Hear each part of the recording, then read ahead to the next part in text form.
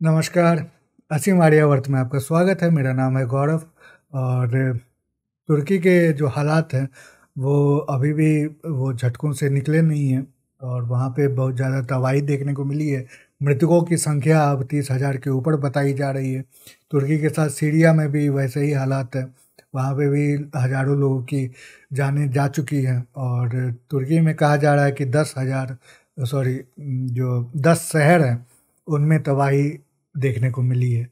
तो अभी भी राहत बचाव कार्य जारी है और भारत की तरफ़ से जो रिस्पांस मिला है, वो बहुत ज़्यादा बहुत प्रैग्मेटिक था, बहुत प्रोएक्टिव था। जैसे ही भूकंप की सूचना मिली, प्रधानमंत्री ने तुरंत विदेश मंत्री से संपर्क किया और सब कुछ प्रिपेयर करने के लिए बताया। सब कुछ प्रबंध प्रबंध करने के लिए जिसमें ये बात कही गई कि भारतीय सेना के तरफ़ से बहुत सारे मेडिकल स्टाफ जो हैं और मेडिकल सामग्री, वो साथ में कुछ सैनिक भी और जो बचाव कार्य में, राहत कार्य में मदद करेंगे। एनडीआरएफ के जो जवान हैं, जो कि नेशनल डिजास्टर रिलीफ फोर्स कहा जाता है, जो कि इसी तरह के प्राकृतिक आपदा में वो मदद और बचाव करते हैं, उनको भी भेजा गया है। तो भारत की तरफ़ से सी सेवनटीन एक हमारा मालवाहक विमान है, वो वहाँ छः बार वहाँ पे ट्रिप लगा चुका है और मतलब हमारे सैन्य बलों के साथ बहुत सारी राहत सामग्री भी भेजी गई है। एक तरह से वहाँ पे टेम्परेरी जो टेंट में हॉस्पिटल बनाए गए हैं, क्योंकि वहाँ तो बहुत ज़्यादा डिस्ट्रक्शन है बिल्डिंग्स सिक्योर नहीं है, कुछ भी हो सकता है तो इसीलिए सारे लोग बेघर भी हैं बहुत सारे और वहाँ पे बिजली पानी का भी व्यवस्था नहीं है तो इस वजह से ये टेम्प्रेरी हॉस्पिटल में लोगों का इलाज चल रहा है, जो बचाए जा रहे हैं। और मलबों में अभी भी बहुत सारे जाने फंसी हुई है, बहुत सारे जाने जा चुकी हैं तो उनकी बॉडी को भी निकाला जा रहा है। तो यहाँ पे मैं आपके सामने कुछ बातें रखूँगा, जैसे ये ट्विटर पे मैंने इंडिया टर्की अगर सर्च किया तो ये कुछ आपके सामने पिक्चर्स हैं, कुछ तस्वीरें हैं, जिसमें एक ये फ़ोटो जो है वो बहुत वायरल हुई है। इसमें एक हमारे सेना की शायद मेडिकल ये मेंबर है तो इनको ये तुर्की के कोई वयस्क महिला है ये उनको गले लग रही हैं बहुत मतलब सहानुभूति बहुत मतलब क्या ग्रैटिट्यूड के आ, कहें तो वो फीलिंग यहाँ पे देखने को मिल रही है। साथ में ये भारत से राहत सामग्री पहुँचाई जा रही है भारत का झंडा भी आप देख सकते हैं। उसके अलावा भी यहाँ तुर्की के राजदूत जो है भारत में उनके तरफ़ से कुछ संदेश दिया गया है कि ऑपरेशन दोस्त जो है ये इस राहत को ऑपरेशन, राहत कार्य को ऑपरेशन दोस्त का नाम दिया गया। है दोस्त तुर्की में भी फ्रेंड को कहा जाता है और भारत में भी फ्रेंड को कहा जाता है। यही सी सेवनटीन प्लेन है।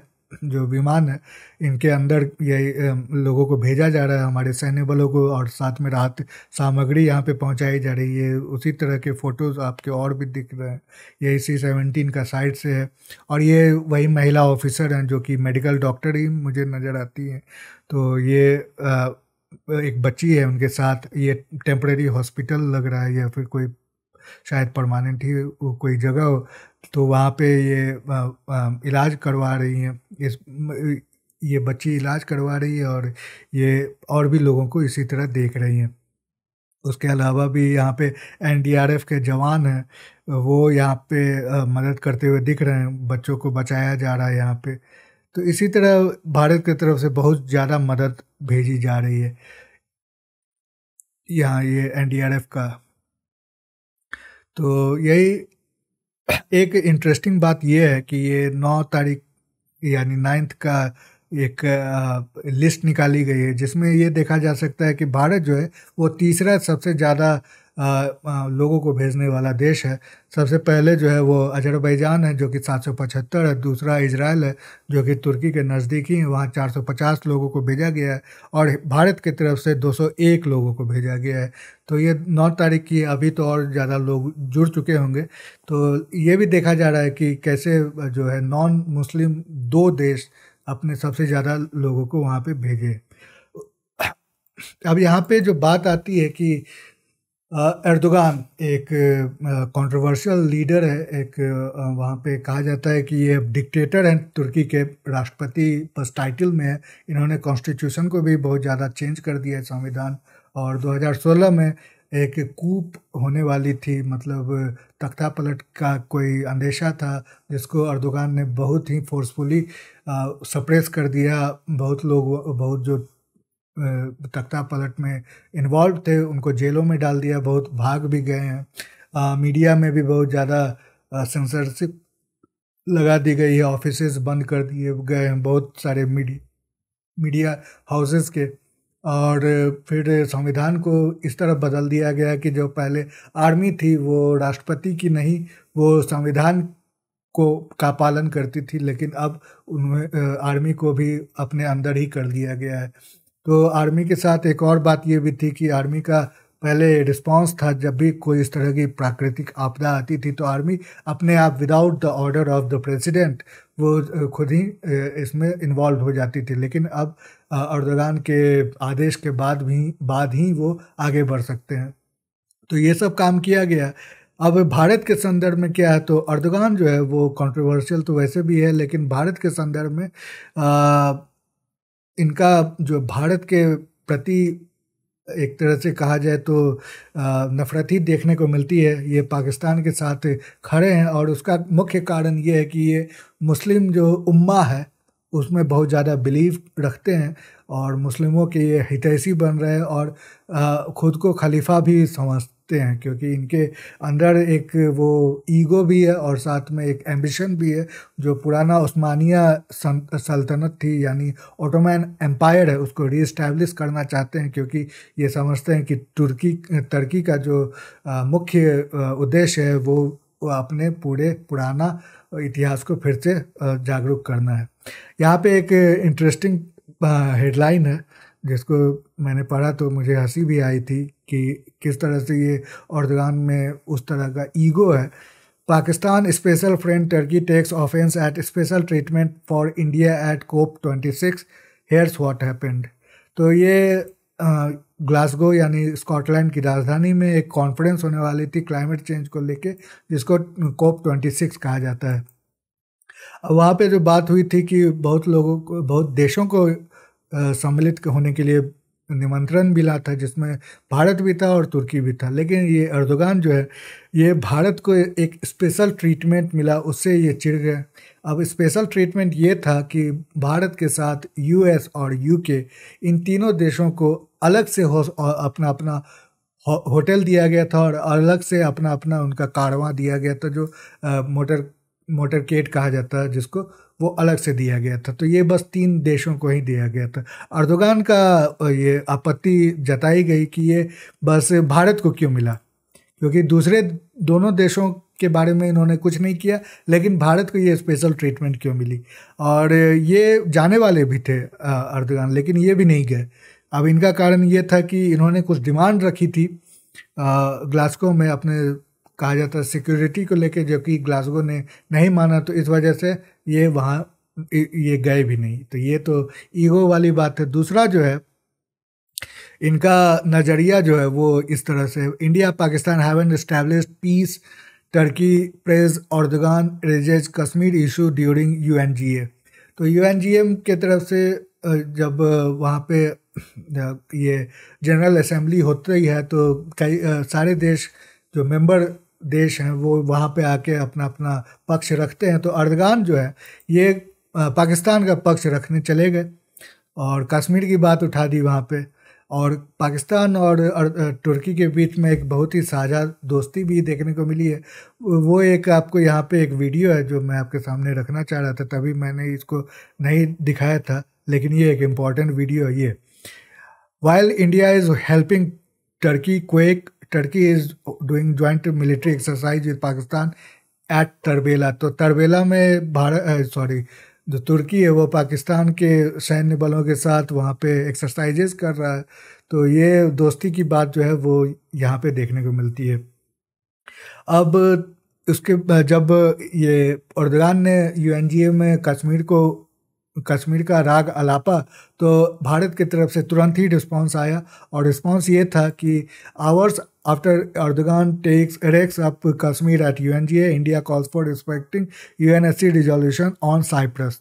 तो ये साइप्रस जो है वो तुर्की का एक मतलब नेबरिंग कंट्री है लेकिन साइप्रस के बहुत सारे हिस्सों पे तुर्की ने कब्जा जमाया हुआ है और उसका भी केस यूएनएससी यानी यूनाइटेड स्टेट्स सिक्योरिटी काउंसिल संयुक्त राष्ट्र सुरक्षा परिषद में उसका भी केस चल रहा है। तो उसको कभी अर्दगान ने नहीं उठाया और इसको जैसे ही यूएनजीए में कश्मीर का राग लापा तो भारत की तरफ़ से ये रिस्पॉन्स मिला। उसके अलावा भी तुर्की ने भारत के खिलाफ बहुत सारे काम किए, जिसमें Turkey emerging as new Dubai in anti India operation तो एक समय होता था कि यूएई जो है, वो पाकिस्तान का मतलब अच्छा दोस्त हुआ करता था। तो दाऊद इब्राहिम ये सब यूएई में ही पाए जाते थे, वहाँ पे हवाला मनी मनी लॉन्ड्रिंग स्मगलिंग ये सब का कारोबार जो भारत में वो करते थे, लेकिन ऑपरेशन वहाँ से नहीं उसको कंट्रोल किया जाता था। तो उस समय की बात है। अब यूएई में बहुत ज़्यादा सुधार आया और भारत और यूएई के रिश्ते बहुत ही सुधार उसमें देखने को मिला है। बहुत गाढ़ा भी हो रही है, ये जो रिलेशनशिप है। तो अब ये तुर्की जो है, ये उस रिस्पॉन्सिबिलिटी को उठाने के लिए आगे बढ़ा है। तो वहाँ पे पाकिस्तानी जो है जो भारत के खिलाफ इस तरह के काम करते हैं तुर्की ने उनको वहाँ पे एक सुरक्षा प्रदान की है या फिर वहाँ पे एक बेस देने की बात की है। अब इसके बाद भारत ने क्या क्या रिस्पांस दिया है? तो भारत ने फिर साइप्रस के साथ डिफेंस कॉरपोरेशन कोऑपरेशन एग्रीमेंट वहाँ पे साइन कर दिया तो ये आ, Anita Dimitriou speaker of the house of representative of Cyprus तो हम देख सकते हैं कि भारत के जो विदेश मंत्री हैं, डॉक्टर जयशंकर, ये वहाँ पे चले गए, वहाँ विज़िट उन्होंने किया और वहाँ पे उन्होंने फिर डिफेंस कोऑपरेशन के तहत कुछ जो डील्स थी, उनको साइन किया उसके अलावा भी एक और है, Pakistan ally Azerbaijan cries foul over Indian arm supply to Armenia. Unfriendly move तो बात ऐसी है कि तुर्की ही नहीं, तुर्की के अलावा अजरबैजान है। ये भी तुर्की जो अर्दगान है, इनका जो मैंने बताया कि इनका एक एम्बिशन है, पुराना खालिफत फिर से रीस्टैब्लिश करने का तो उसमें ये कर रहे हैं कि जो बाकी और भी कई जो देश हैं, वहाँ पे भी ये टांग अड़ाने की कोशिश कर रहे हैं। खासकर इजिप्ट में जो मुस्लिम ब्रदरहुड जिसको टेररिस्ट ऑर्गेनाइज घोषित ऑर्गेनाइजेशन घोषित कर दिया गया था, उसके समर्थन में ये आ गए थे। जबकि अरब में और भी जो देश हैं, वो मुस्लिम ब्रदरहुड के समर्थन में नहीं थे। उसके अलावा जो इसराइल के ख़िलाफ़ हमास जो है, उसके समर्थन में भी अर्दगान है। उसके अलावा फिर जो अजरबैजान, आर्मेनिया के बीच में युद्ध हो रहा है तो अजरबैजान को बहुत सारे वेपन्स जो हैं, वो ये तुर्की की तरफ़ से मिले हैं और पाकिस्तान की तरफ़ से कुछ लड़, लड़ाके मिले हैं। तो इसीलिए इन तीनों की दोस्ती भी बहुत ज़्यादा गहरी है। अब इसीलिए यहाँ पे अजरबैजान को उकसाने के लिए या अजरबैजान भी भारत को उकसाने के लिए कश्मीर का राग लापता और पाकिस्तान के समर्थन में बातें कहता है तो इस वजह से अर्मीनिया को भी भारत ने कुछ जो वेपन्स है, वो सप्लाई शुरू कर दिया। तो उसमें एक पिनाका रॉकेट के बारे में बात चल रही है। स्वाति रडार पहले ही वहाँ पे सप्लाई कर दिया गया है। उसके अलावा भी और भी चीज़ें बातें उस पर चल रही है। तो इसलिए भारत की तरफ़ से, हर तरफ़ से एक मल्टी डायरेक्शनल रिस्पांस देखने को मिल रहा है। तो क्रिटिक क्रिटिक जो है वो सही है कि अर्दुगान को क्यों हम हेल्प कर रहे हैं या तुर्की को क्यों हेल्प कर रहे हैं, जबकि तुर्की हमारे बारे में इस तरह की सोच रखता है। तो इसका रिस्पांस ये है कि भारत ने जो पॉलिसी अडॉप्ट की है, खासकर 2014 के बाद से जो फॉरेन पॉलिसी है, वो बहुत ही ज़्यादा एक प्रैग्मेटिक है, बहुत ज़्यादा डायनेमिक है और भारत के जो इंटरेस्ट है, उनको आगे रख के ही इस, इन सब चीज़ों को फॉलो किया जा रहा है। तो अभी आप देख सकते हैं कि किस तरह से भारत के प्रधानमंत्री अरब देशों में उनका आना जाना रहा है और इस वजह से इतनी अच्छी वहाँ पे दोस्ती हो चुकी है अरब में, खासकर सऊदी अरेबिया यूएई के साथ की। 370 जब भारत हटाया था तो अरब की तरफ़ से बहुत ही कोई रिस्पांस नहीं मिला था हो सकता है कतर ने कुछ कहा हो, लेकिन कतर के अलावा कोई और देश ने कोई खास रिस्पांस नहीं दिया था। ओआईसी जो है, जो कहा जाता है कि मुस्लिमों के लिए एक सबसे, मुस्लिम देशों के लिए एक बहुत बड़ा ऑर्गेनाइजेशन है। Organisation of Islamic corporation Islamic state corporation या कुछ इस तरह है। उसके तरफ़ से भी एक फॉर्मेलिटी के नाम पे कश्मीर के लाभ दिया जाता है। लेकिन पाकिस्तान को उन्होंने कुछ तरह से भी फेवर नहीं किया। उसके अलावा भी यूएई के साथ भारत जो है आ, हमारा जो ट्रेड है वो आ, मतलब आफ्टर अमेरिका चाइना ये तीसरा सबसे बड़ा जो ट्रेडिंग पार्टनर है वो यूएई है। तो यूएई में भारत के तरफ़ से बहुत ज़्यादा एक्सपोर्ट किया जाता है। तो वहाँ से बहुत सारे हमें पैसे मिलते हैं कमाई मिलती है। तो वो भी एक है। पहले वहाँ पे पाकिस्तान के फ़ूड सप्लाई जाते थे एग्रो प्रोडक्ट्स जाते थे, लेकिन अब भारत ने पाकिस्तान को रिप्लेस कर दिया ऐसा ही वो सऊदी अरेबिया में भी देखने को मिल रहा है। तो ये पॉजिटिव न्यूज़ है। इसके अलावा भी भारत बहुत तरह से इस तरह के जो हेल्प्स हैं, उसमें मदद के लिए सामने आया है। जैसे कोविड के समय में भी बहुत सारे देशों के भारत ने वैक्सीन सप्लाई की थी। यमन में जब युद्ध हुआ था तो बहुत सारे देशों को, के नागरिक जो थे, जो वहाँ पे फंसे हुए फंसे हुए थे, उनको भारत ने निकाला था।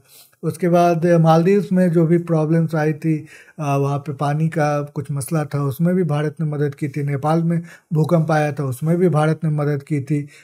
इस तरह से हर तरफ़ भारत अपना एक प्रोजेक्ट करना चाह रहा है कि अब हम भारत जो है वो लीडरशिप का रोल निभा सकता है, एक अपना स्टैंड रख सकता है। वो किसी और के को फॉलो नहीं करेगा, चाहे वो अमेरिका को, चाहे वो चाइना को। अगर भारत के इंटरेस्ट में है कि रशिया से ऑयल लेना है तो भारत अमेरिका के खिलाफ जाके रशिया से ऑयल लेगा। फिर चाहे अमेरिका कितना भी ज़्यादा नाराज़ क्यों ना हो ऐस 400 लेने का था तो भारत ने एस 400 लिया। इसमें भी अमेरिका की नाराज़गी थी, लेकिन भारत ने ऐसा किया। तो यही देखने वाली बात है, जब आप सब चीज़ों को देखते हो एक साथ, एक होल पिक्चर आपके सामने नज़र आती है तो आप समझते हैं कि ये जो जो भी एड है, जो पावर प्रोजेक्शन है, ये दोनों काम करते यानी सॉफ्ट पावर और हार्ड पावर तो ये दोनों जब आगे आपके सामने रखे जाते हैं, तब आप एक अच्छे बैलेंस्ड नज़र आते हैं आप, आपकी फॉरेन पॉलिसी और आप प्रोजेक्ट होते हैं एक स्ट्रॉन्ग लीडर की तरह, एक स्ट्रॉन्ग नेशन की तरह। तो यही बात यहाँ पे देखने को मिलती है तो क्रिटिक्स जो हैं वो अपने नज़रिए से सही भी हैं लेकिन उसके अलावा भी हम देख रहे हैं कि कैसे पॉजिटिव यहाँ पे हमें रिस्पांस देखने को मिल रहे हैं और साथ में भारत का जो रुतबा है वो भी बढ़ता जा रहा है। तो यही सारी बातें मैं आपके सामने रखना चाह रहा था और तुर्की के मद्देनज़र वहाँ पे बहुत भीषण जो सिचुएशन है वो देखने को मिल रही है। आ, हो सकता है कि अब जल्द ही सब कुछ समेटा जा सके, क्योंकि बहुत लोग वहाँ पे मदद को आ चुके हैं। वहाँ पे बचाव कार्य बहुत ही तेज़ी से चल रहा है। और एक और बात यहाँ पे ये है, लास्ट में मैं कहना चाहूँगा कि भारत ने ये क्यों किया है? तो don't come here asking for votes Turkey praise Erdogan faces people's wrath after quake तो ये भी एक बात है कि जो तुर्की में इलेक्शन आने वाले हैं और हो सकता है कि इलेक्शन में अर्दगान को इस समय बहुत ही ज़्यादा मुश्किलों का सामना करना पड़े। उन्नीस सौ निन्यानवे में भी तुर्की में इसी तरह के कुछ हालात बने थे, वो समय भी भूकंप आया था और वहाँ पे उस समय एक रिलीफ फंड इस्टेब्लिश की गई थी, जिसमें माना जाता है कि तीस अरब बिलियन डॉलर जो है, यानी तीस अरब डॉलर सॉरी, तीस अरब यूरो वहाँ पे उसमें थे, लेकिन वो गायब हो चुके हैं, उनका कुछ पता नहीं है तो वो भी एक मसला बन रहा है इलेक्शन के उसमें। तो अगर भारत अपने तरफ़ से कुछ इन्फ्लुएंस वहाँ पे डाल सके तो वो भी भारत के लिए अच्छा रहेगा। ऐसा हर जगह होता है, हर देश ऐसा करता है। ये सिर्फ़ मानवता की बात नहीं है ये राजनीतिक, ये कूटनीति भी हमारे सेल्फ इंटरेस्ट को भी देखना बहुत ज़रूरी है, क्योंकि सर्वोपरि अपना देश ही आता है, उसके बाद ही कोई और आएगा। तो ये कुछ जो बातें हैं वो मैं आपके सामने रखना चाह रहा था। आपको मेरी बातें कैसी लगी? अपने विचार मुझे मेरे कमेंट सेक्शन में ज़रूर लिखें, साथ में ट्विटर पे मेरा साथ जुड़े और वीडियो को शेयर करें लाइक करें और ज़्यादा से ज़्यादा लोगों को पहुँचाए सब्सक्राइब करें। और अभी के लिए इतना ही। अगली बार फिर मिलते हैं। तब तक के लिए नमस्ते, जय हिंद।